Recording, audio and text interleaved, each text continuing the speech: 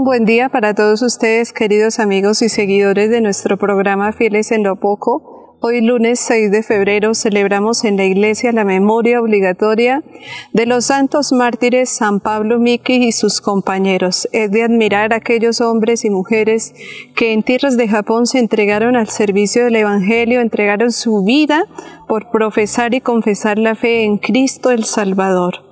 Admiremos a estos santos y pidámosles a ellos que nos den fortaleza para caminar de la mano con Cristo. Y vamos a ver qué nos trae la palabra de Dios para este día en el Salmo 103. Goce el Señor con sus obras. Bendice alma mía al Señor, Dios mío, qué grande eres. Te vistes de belleza y majestad, la luz te envuelve como un manto. Asentaste la tierra sobre sus cimientos y no vacilará jamás.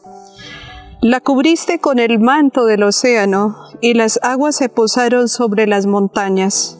De los manantiales saca los ríos para que fluyan entre los montes. Junto a ellos habitan las aves del cielo y entre las frondas se oye su canto. ¿Cuántas son tus obras, Señor? Y todas las hiciste con sabiduría. La tierra está llena de tus criaturas. Bendice, alma mía, al Señor.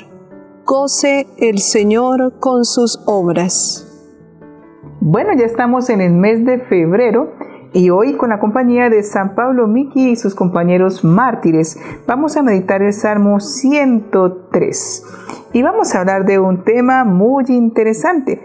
Dice la primera parte de este salmo, hablando sobre Dios, te vistes de belleza y majestad. Ay, ¿quién diría, no? ¿Será que Dios es vanidoso? No se trata de vanidad, pero generalmente cuando nosotros vemos lo máximo, es como lo más bello, lo más hermoso, lo más precioso. Y el salmista expresa a través de esta frase que lo más hermoso, lo más precioso es Dios, que no puede haber una cosa más hermosa que Él. Y nosotros debemos hoy reflexionar en lo siguiente. Dios se viste de belleza y majestad. Nosotros somos los hijos de Dios. Por lo tanto, ¿cómo tenemos que vestirnos? Pues sí, debo decirles que es importante cuidar nuestro aspecto físico, la forma en la cual nos vemos ante los demás. No se trata entonces de que, ay, la hermanita nos está mandando ahora llenando la cara de maquillaje y a ganar gastar plata en la peluquería. No, no se trata de eso. Pero en lo poco que tenemos, con modestia, hay que vestirnos correctamente porque nuestra ropa, nuestro atuendo, nuestro peinado habla de Dios.